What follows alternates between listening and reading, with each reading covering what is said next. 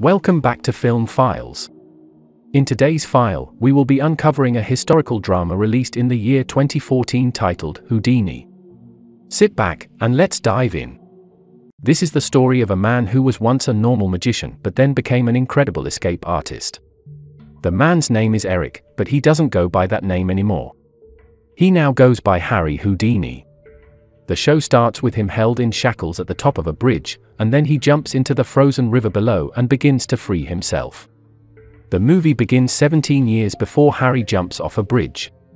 Harry and his wife, Bess, arrive at a brothel to perform. He's forcefully put in handcuffs which he easily escapes from. From that moment, he began putting his interests into being an escape artist, escaping from all sorts of shackles, even without wearing any clothes. He rapidly became more popular with his escape tricks. Harry then tells his wife that he would never want to be like his father, who was a nobody. Back in Wisconsin, in 1886, Harry is with his brother Dash, and they are watching a magic show on the streets. Harry begins performing street shows, and people like what he does, and he gets a good amount of money from it. He rushes home and gives most of it to his mum. He loves her and would do anything for her. Harry then leaves his home to pursue his career. His greatest escape was leaving his home. After a while, Harry reunites with his family in Detroit, but his father dies a few years later. He continues performing magic tricks with his brother as his partner. Harry then falls in love with a dancer, her name is Bess, and after a while, they get married, and Bess then becomes his new partner while he leaves his brother behind. Harry meets Jim Collins in a magic trick store, and Jim tells him how much he changed his life and then begins helping him invent new tricks and breathtaking escape techniques. Harry performs in a California prison where he is shackled all over and has his mouth tied while locked in a cell.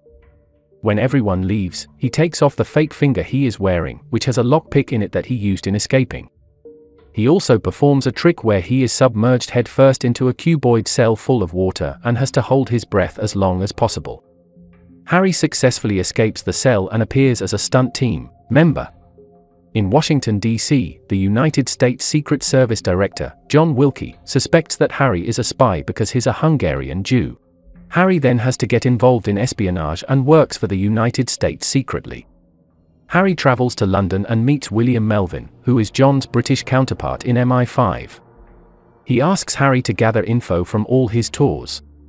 William then tells Harry that his passport was adjusted, making him legally an American. Harry gets home late that night, and his wife begins to suspect that he's cheating on her. He has a nightmare that night where his dad shoots him. Flashback to 1886, Harry was a sorcerer's apprentice. Harry finds out that the sorcerer is just a liar. The sorcerer then tells Harry that all magicians are liars, and the better the magician, the better the lie. Harry then has the same nightmare where he gets shot by his dad. He wakes up and throws the Book of Illusions into the fire. After some shows in Berlin, the Kaiser requests a private show with Harry. Harry then attempts the infamous bullet catch in front of the Kaiser, which he successfully performs. The trick's secret is that the ramrod used in loading the gun had a magnet on it, which Jim uses to remove the bullet while loading the gun. Harry goes to Budapest, where he meets Reilly. Reilly is involved in the Secret Service. Harry tells him what he saw and heard while with the Kaiser. He tells Reilly about the Kaiser's preparations for an upcoming war. Harry then ends the meeting as he is in a hurry to go welcome his mom. As he walks down the street with his wife, he sees a beautiful dress meant for Queen Victoria. Harry buys the dress for his mum, and she looks incredible in it.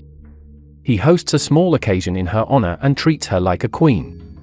He then performs a trick in front of her and showers her with gold coins. Harry travels to Moscow, where he's with the royal family, performing tricks for them. Rasputin, a religious man with the royal family, doubts Harry's abilities, so he decides to go higher. Harry performs a trick that makes the ancient tower bells ring. The entire royal family is in shock as they hear the bells ring. Even Rasputin couldn't believe what had just happened. Harry returns London and briefs William about Moscow and how Rasputin was in control of the entire royal family. He also explains how he did the bell trick. He had Jim stay in a nearby building with binoculars waiting for his signal. Once he saw the little girl pull the rope, he shot at the bell with a sniper. He also said that he had switched the paper he picked with one he had prepared already. William tells him that they needed to get some important documents in a safe in the German embassy. Harry has a show at the Adelphi Theatre beside the embassy. He performs a trick where he has to escape from an airtight safe but sneaks into the German embassy, where he steals the documents from the safe and goes back to the theatre. He surprises his wife for their 10th anniversary, but she is very unhappy. Harry is performing in a theatre, but there is barely anyone in the audience. People have lost interest in his shows and went to watch comedy movies. The applause from the crowd was shallow. In the dressing room, Harry argues with Jim about the performance. The owner of the theatre is then talking to Harry and tells him that people are losing interest in him and that he should start having shows in a smaller theatre. The owner tells Harry to see the writing on the wall, but Harry yells that he is the one who writes the writing on the wall. Harry is watching a comedy show with Jim in a movie house. He doesn't seem impressed and begins to think of something to get his audience back. Harry then gets a bright idea of jumping into a frozen lake while chained. Bess tells him she shouldn't be involved and leaves. Harry eventually performs the stunt and barely makes it out alive, but he almost dies in the water. After the performance, he begins thinking of the next act which he'll perform. He then decides to escape from a straitjacket while upside down. After this stunt, Bess makes him promise not to get into any life-threatening stunts again, or she'd leave him. At a circus in New York in the year 1914, Harry does an incredible trick by making an elephant disappear right before everyone's eyes using a red veil. A stranger later meets Harry and asks for a show to be done in Europe. The man is involved in espionage. Harry then leaves his home, but his mother fears that she might pass away before he gets to see her again. In London, Harry briefs William on some of the things he's found and how the enemy plans to sink civilians and warships using submarines. In the Empire Theatre in London, Harry introduces Sir Arthur and Lady Conan Doyle, spiritualists. Harry performs a trick where he walks through a brick wall, and he achieves this by sliding through a space under while the curtains are closed. Sir Arthur insists that Harry use his spiritual powers to perform his tricks, but Harry denies his claims and insists they are simple magic tricks. After the show, Harry receives a telegram from his brother that his mother had just passed away, breaking Harry's heart. The war they were desperately trying to prevent eventually broke out. After the war, Harry is in Hollywood reviewing a show he starred in when he sees a woman who looks like his mother. Harry then decides to try and communicate with her from the dead and fish out those who used the medium work to scam families who had just lost loved ones in the recently concluded war. After a while of exposing fake mediums, Harry publishes a book on fake mediums and their methods so that the general public may know and avoid being scammed. The book launch holds in Washington with a small press conference, and Harry put up a $10,000 challenge to any medium who could successfully trick him or who could make him communicate with his mother. Harry performs another stunt in New Jersey where he has to escape from a cannon before it fires. He pulls off the stunt, and the audience is impressed. Later that night, he's having a conversation with Sir Arthur and his wife. He encounters a medium who says that he is going to die soon. Sir Arthur's wife, who claims to be a medium, tells Harry that he can help her communicate with his dead mother. After the séance, Harry confirms that Lady Doyle is a fraud because it was his birthday and his mum never forgot his birthday, but it wasn't mentioned throughout. Harry then goes to Boston to meet one of the most famous mediums named Marjorie. The séance ends, and Harry immediately proves to them how the secession was fake and how all they were doing was a scam. Marjorie goes to Harry's hotel and tries to seduce him, but he resists and asks her to get out of his room. She then tells him that there is a curse on his head and that the mediums will use his name however he wants when he's dead. Hay was truly afraid for the first time in his life and didn't know why. Harry goes to Detroit, Michigan, where he performs the stunt in which he submerges himself underwater headfirst again.